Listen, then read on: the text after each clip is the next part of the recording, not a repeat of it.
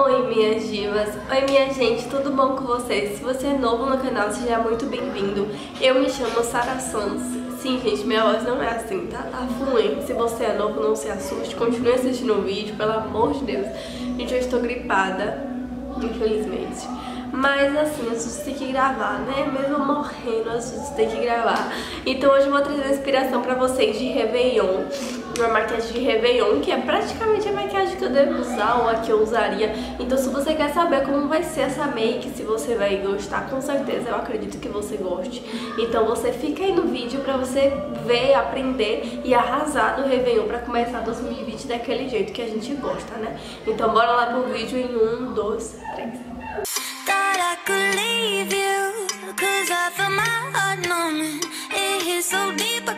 Gente, eu hidratei minha pele com esse creme da Nivea.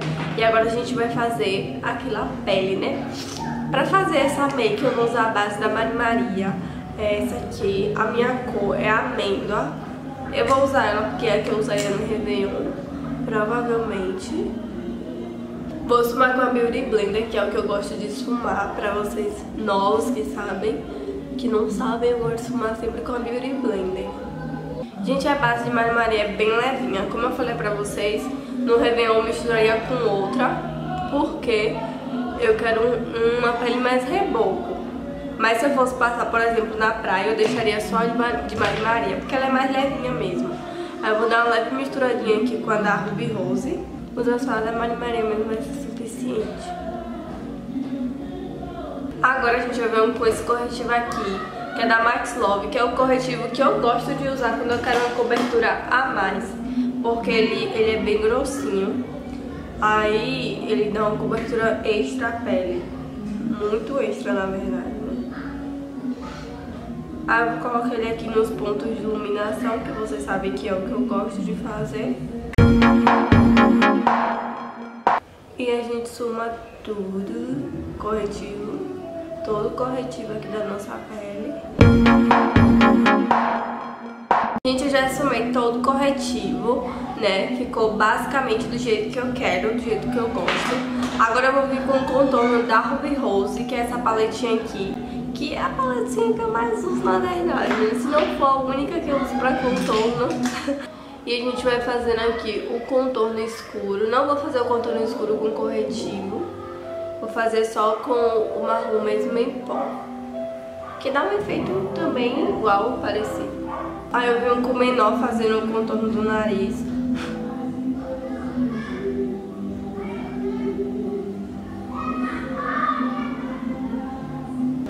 Aí eu já um com blush dessa mesma paletinha. Gente, eu faço isso tudo porque eu gosto de matificar depois, tá? Agora eu vou vir com o pó dessa paletinha aqui da, da Luisense. Vou usar o pó claro da paletinha, que é esse aqui. Pra matificar aqui abaixo do olho, fazer aquela caminha. Mas eu já puxo também aqui do nariz pra gente dar aquela afilada. Vou usar, gente, essa paletinha maravilhosa da Bruna Tavares, que tem essas cores aqui. E as cores que eu vou usar vai ser essa berinjela com esse mais escuro, tá? Por enquanto, é essas cores que a gente vai utilizar. Eu vou começar com o pincel chanfradinho menor. E vou começar com o tom vida, que é o tipo berinjela. E a gente vai começando a esfumar aqui no canto externo, que é o que eu vou começar fazendo. Canto externo. Só que eu quero um olho mais arredondado, então eu não vou puxar muito pra lá, não. Aí eu vou trazendo essa sombra aqui pro início, em movimentos circulares de vai e vem. E eu venho com um corretivo, gente, que foi o que eu usei aqui mesmo, na, no rosto da Max Love. E aí eu vou aplicar aqui, como se eu fosse fazer um ponto de luz. Eu aplico só embaixo aqui mesmo faço aquele truquezinho do olho, assim que eu já falei pra vocês, que aí ele marca, tá vendo? Aonde a gente tem que dar aquela puxadinha no côncavo. E aí, gente, eu venho com esse bronzer aqui da paletinha. e vou depositando em cima do corretivo.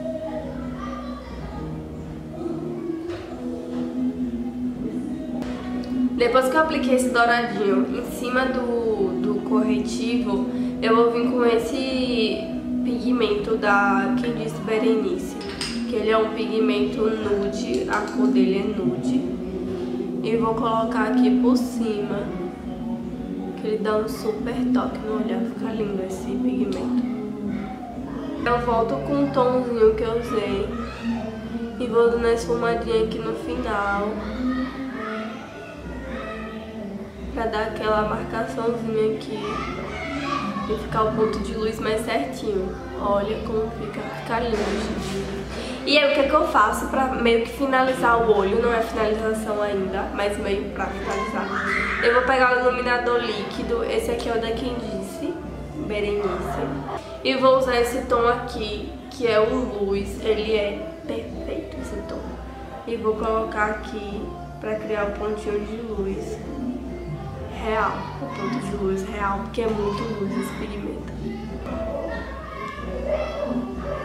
Vou tirar o pó daqui, gente, já fiz o outro olho. Agora eu tiro o pó daqui, né, tirar o excesso. Vou vir com o pincel de esfumar abaixo do olho e vou usar o mesmo tom que eu usei, que foi o berinjela. Pra gente fazer o esfumadinho aqui abaixo.